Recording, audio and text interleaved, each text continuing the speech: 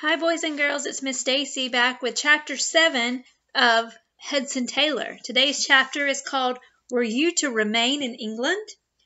Back in Barnsley, Hudson made a quick recovery. The house was warm, the food wholesome, and his mother fussed over him constantly, especially after she found out about his eating habits in London.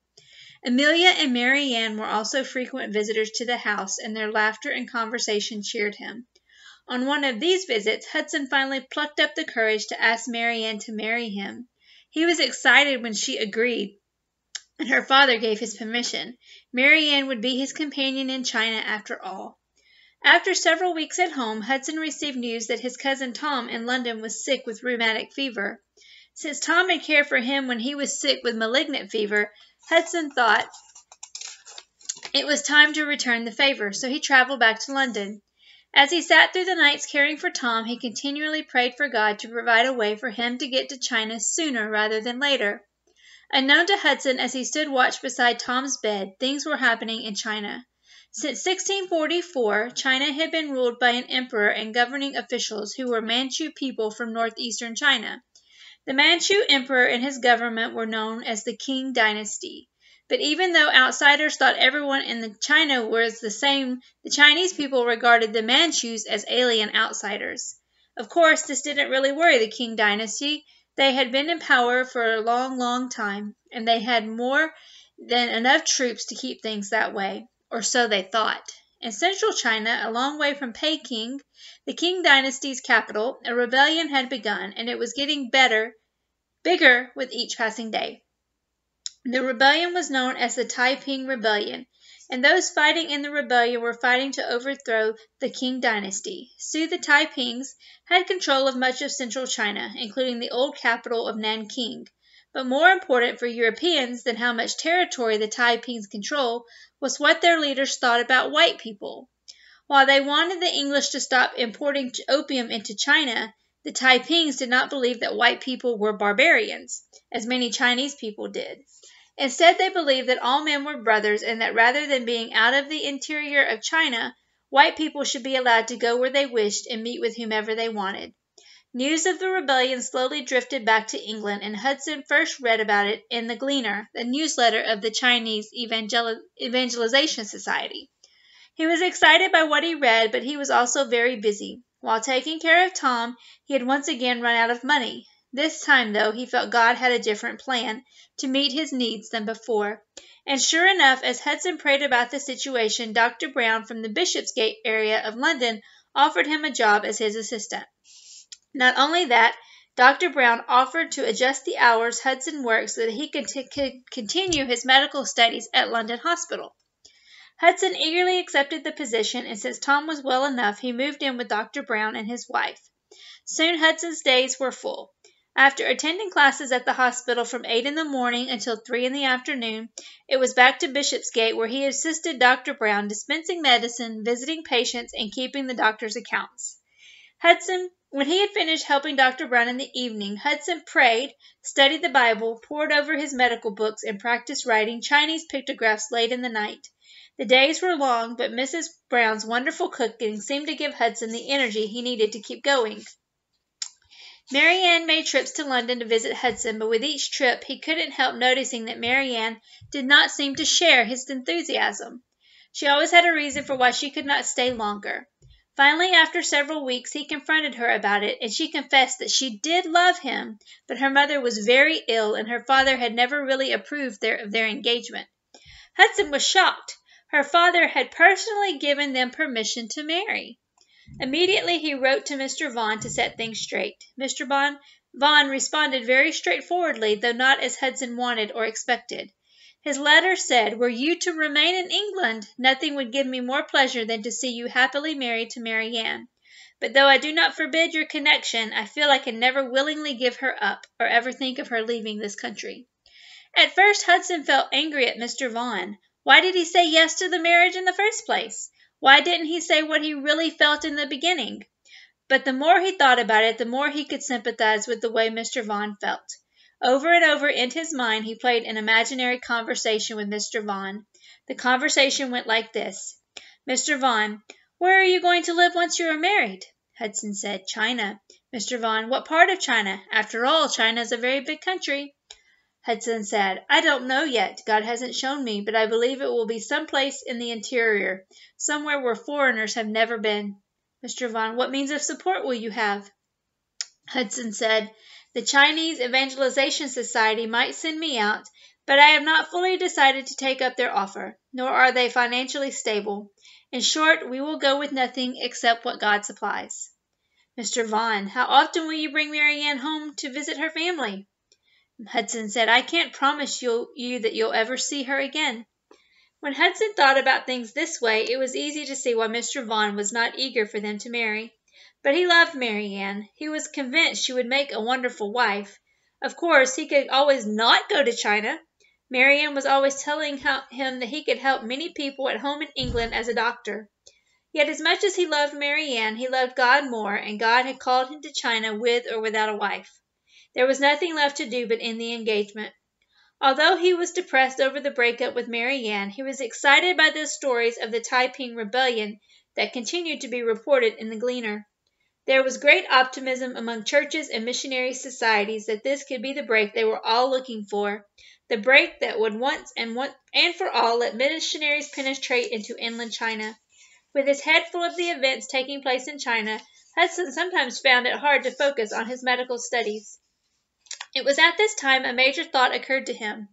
Yes, he loved medicine and the idea of being a doctor, but medical knowledge was simply a tool. He was called to be an evangelist, and if his medical training helped him to evangelize more effectively, then well and good. But one thing was for sure, he knew he wasn't called to China to just start a hospital in one of the treaty ports.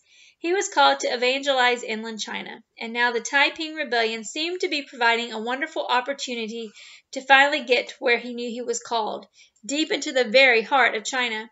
So why should he continue on with his medical training when it was training him to be something he knew God hadn't called him to be?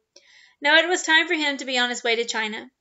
At the same time that Hudson was having these thoughts, the Chinese Evangelization Society decided that the present opportunity in China was too good to miss. They decided to send two missionaries there immediately. When the society found out that Hudson Taylor was available, they soon decided that he should be the first to go.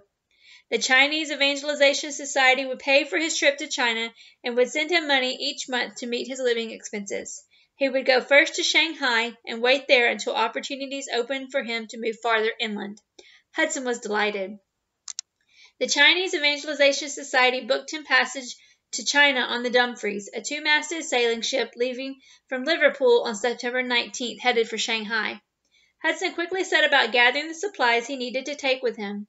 Finally, several days before the Dumfries was due to sail, he arrived in Liverpool, where his family was waiting for him. Mr. Pearse from the Chinese Evangelization Society also joined them, as did Aunt Hannah. They all spent several wonderful days together. Finally, September 19, 1853, arrived. The crew was just stowing the last of the cargo when Hudson arrived at the dock. Hudson went aboard, and the steward showed him to his cabin in the stern of the ship. The cabin had been freshly, freshly painted in honor of the only passenger of the trip. His family, Mr. Pearse, and a local minister all accompanied him to his cabin, where they prayed and read psalms together. Finally, they had to leave the ship as it was about to set sail. Hudson hugged his mother one last time, and when she was safely back on the dock, the mooring ropes were let go and the Dumfries slid away from the dock out into the Mersey River. Captain Morris gave the order to hoist the sails, and as the wind caught them, the ship began the three mile trip down the Mersey to the Irish Sea. Hudson waved as hard as he could at his family on the dock, and as they began to fade from sight, he climbed into the rigging in hopes of getting one last look. He was twenty one years old and on his way to China at last. Four days out from Liverpool, the Dumfries ran into the fierce storm that nearly wrecked it and its crew on the rocks of the Welsh coast. It took Captain Morris and his crew nearly two weeks to repair all the damage done to the ship by the storm. Some of the crew had been injured in the storm, and Hudson was able to tend to their wounds. Finally, with all the damage repaired, the ship was able to get back under full sail as she headed down the west coast of Africa. After the excitement of the storm in the Irish Sea had passed, the voyage soon became monotonous. At Christmas time, three months after leaving Liverpool, the ship reached the southernmost point on her voyage, the Cape of Good Hope. The Dumfries log showed that the ship had traveled 14,500 miles so far, but there was still a long way to go before she reached China. By early January 1854 the Dumfries had begun the long haul across the Indian Ocean. She passed 120 miles off the northwestern tip of Australia and headed out among the tropical islands of the western Pacific Ocean for the last slow leg of her voyage to Shanghai. Occasionally she came close enough to an island for the inhabitants to paddle out to the ship to offer cocoanuts and shells in exchange for knives and blankets. Days and nights in the tropics settled into a pattern.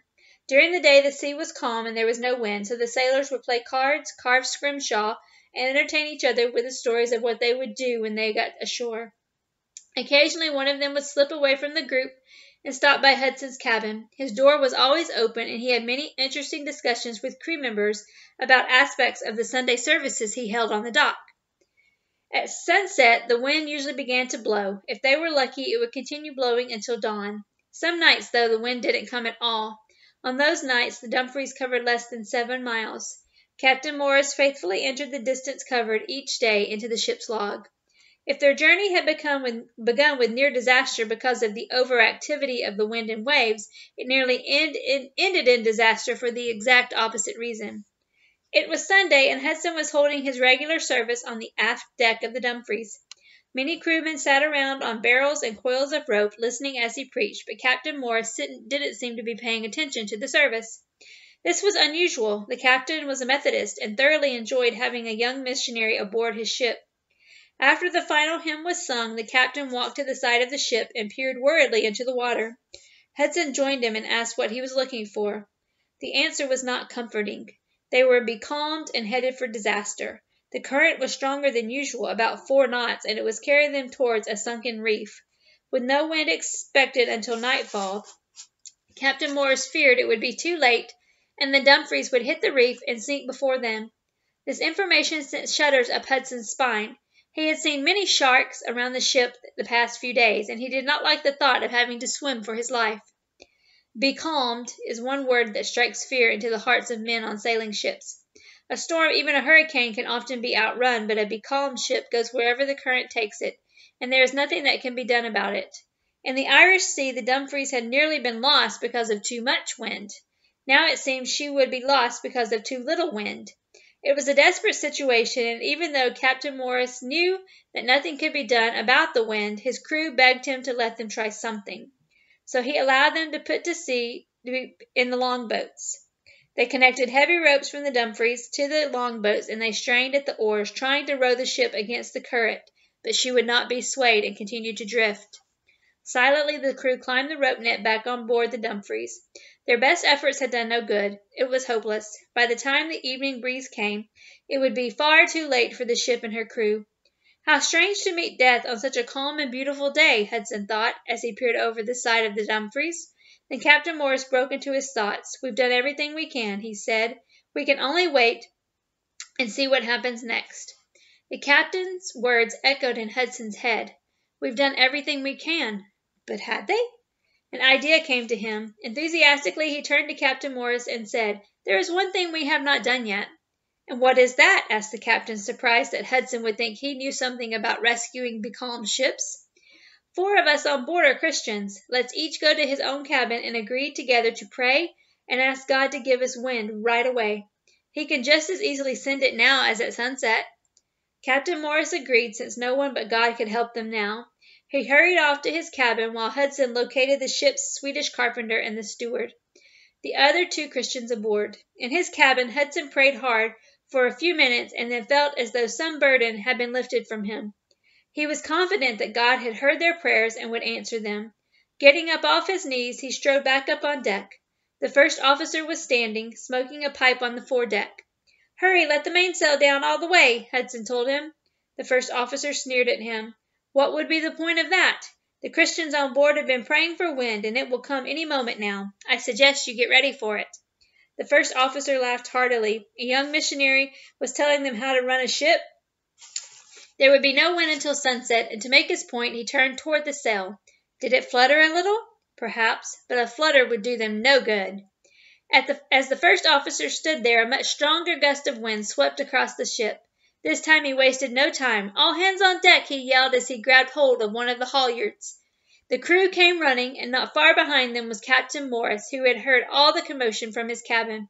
It was a wonderful strong breeze that blew. Within minutes the Dumfries was plowing through the Pacific Ocean at seven knots. Each minute that passed took them farther away from the dangerous reef and closer to Shanghai. Well, next time in Chapter 8, Hudson makes it to China. See you then.